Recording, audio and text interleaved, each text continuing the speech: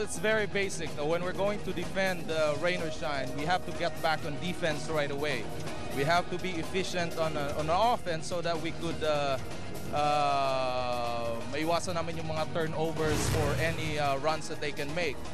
So they have responded, but this is just the first half, and we. What's important is we have to uh, check our emotions.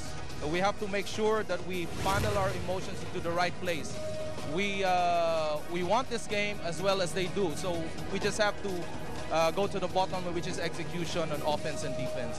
Thank you, Coach, for your time, and good luck in the second half. We will be taking a short break later on. Coach Ronnie will break down the first half. To Two teams survived to fight another day.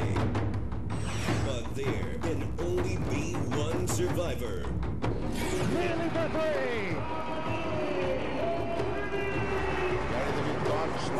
basket. Changed his mind, changed his direction, changed the shot. It will not be easy going up against Rain or Shine. It will be a tough job for us on Wednesday. What a steal right now for Sol Mercado. I think it's more on who wants it more on Wednesday.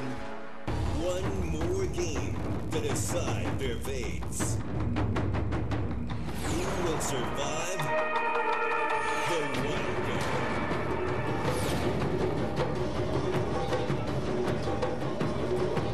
those questions will finally have an answer as we complete this ball game. Already 24 minutes have been played.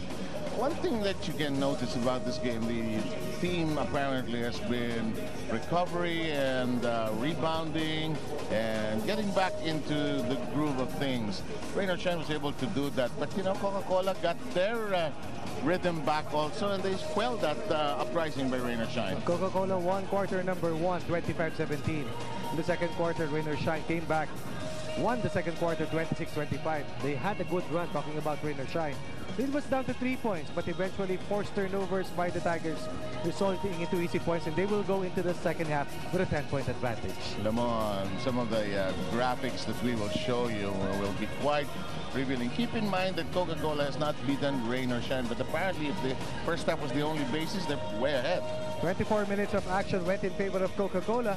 As we take a look at the import scoring matchup, three points will not get the job done for Rain or Shine in the second half. Rod Nealy has to get himself busy offensively in the third and fourth quarters. Bench scoring, something that Rain or Shine was able to utilize in narrowing the gap in the first part of the second. Bench scoring has contributed heavily to the cause of the Elasto Painters. Fastbreak points, that is a constant for Coca-Cola. They are scoring in the break, controlling the defensive rebounds, and the running game is functioning well for the Tigers. Hindi nila alam kung kailan pupunasan yung pawis mo, no? Mapasok yung makeup artist natin. hindi Running niya- game, Yeah, running hindi, game. Hindi niya alam kung kailan siya papasok. Running game, Pero running game. social yan eh, kaya hindi, hindi siya agad pumapasok eh. Kaya mahal natin yan. Pero alam mo, Ronnie, kung titingnan mo, ang daling sabihin from one perspective, ano, sige, atakihin mo lang ng atakihin ng Coca-Cola. Pero pagkalaro mo kasi ang Coca-Cola, si take a look, sige na, labas yun na yung graphic ng leading scorer. Yun na yun eh. Kaya parang meaning to say, ang dali-daling atakihin, pero hindi, ang laki nila sa dulo eh, no? And Coca-Cola talaga malaki ang in-improve sa kanilang depensa. nga, oo 96 a game bago dumating si John Williamson. But in the last five games, opponents have been limited to only Ah. about 18. At kabaliktaran naman ang nangyayari dito sa Rain or Shine. Mataas ang opensa, bumaba naman ang kanilang depensa. Over the last four games, that hot rod Neely has joined this squad. Okay, uh, puntahan naman natin si Magu. Well, okay, Magu, take it away, please. And we are joined now by uh, Rain or Shine head coach Caloy Garcia. Coach, while you guys were concerned about Coca-Cola's high-low play in the first half, Gary D came away with 16 points. But I think it's more of the communication on defense that we're having. No? The, um, I think it's just uh, we're focusing too much on the Asi Taulava and Dennis Espino and even the import. So I think the second half, I think we just have to communicate more on the defense. Sol Mercado, four personal fouls at the half. How do you protect them here in the second half? Well, uh, you have to win the game, no? So if you lose, you're out of the season. So I think I'll be gambling him early in the in the second half, but I, other locals should step up. Thanks for your time, Coach, and good luck in the second half. Let's turn it back over to Seven Run. Thanks a lot, Magu. And you can tell, boy, uh, that, that onus, that uh, heavy load on the shoulders of Garcia can only speculate on how emotional that uh, halftime discussion could have been in the locker room of Rain or Shine. The season is on the line for these two squads. It's either they go on to play on Friday or they go on a very long vacation. Coach Garcia, they want to replicate what they did in the previous conference, which is handle the challenge of the Coca-Cola Tigers and move over to the quarterfinals. Okay, Nealy has the right thing in mind. Let's attack inside. Let's see what we can do. Let's see what Nealy has done in the first half. Nealy has played a total of, uh, let's see, 40. Ah, hindi naman 40. 20. 14 minutes. 14 pala. 0-4 from the field, 3-4 from the line. Only three points for Hot Rod Nealy.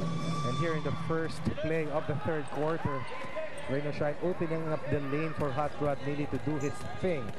Attack the basket, go to the free throw line, and get yourself involved in our offense. Yan ang gusto sa kanyang gawin ni Coach Caloy Garcia.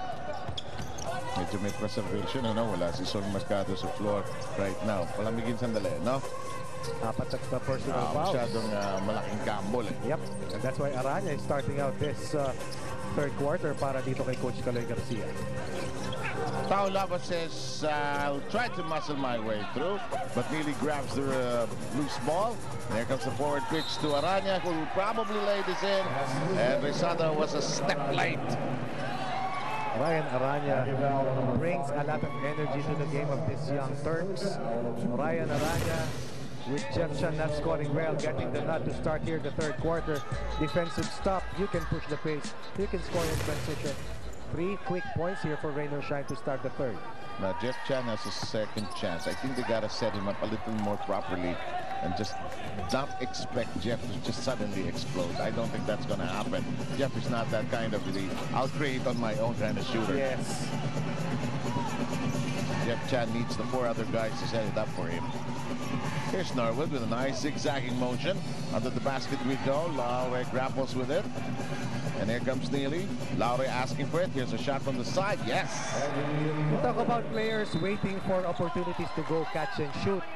Eddie Laure is almost in the same mold as a Jeff Chan. They need players who can create for them open looks. And when you have players creating on dribble drive looks, you have players that can also hit the shot from the Absolutely. perimeter. Eight points now for Laure, 52-47. Rain or Shine knocking at the door, coming within five. The lob pass inside to Taulava, nearly tapped away. Dance in the box. Chico does it well and uh, spreads the lead again and makes it seven. Additional depth in the backcourt for Coca-Cola with the re-entry of Chico Lanete in the lineup of the Tigers. Nealy with an awkward shot off the wrong foot, most probably. Didn't get it to go anywhere. And RJ Rizada just doing a little of everything and making a definite contribution to Coca-Cola's cause here today. I like the interviews Magoo did with the two coaches. Yes. That was really uh, one of his ideas as we prepared for this game. I like the fact that, that you, you saw a bit of the pressure on the coaches, both from Bo Perasol and Caloy Garcia coming out of the first half and going into the second half. Nealy finding an open lane, takes care of six points. Three points in the third quarter for Hot Rod Nealy. Coca-Cola still protecting a seven-point margin.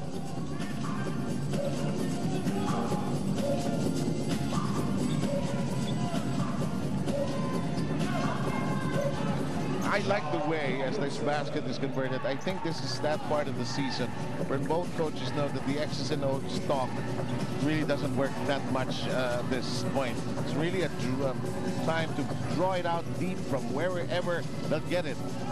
I like the fact that both Benasol talked about managing our emotions. Yes. Like, look at, at Araña. He's trying to ignite this team. That's right. We talk about uh, what Coach Bo Perasol mentioned a while ago, trying to uh, influence his players to manage their emotions, channel it to the right uh, function. And right now, Ryan Araña trying to be the spark, trying to be the game changer para dito sa Elasto Painters. Yung mga bagong expression, ano? Game changer.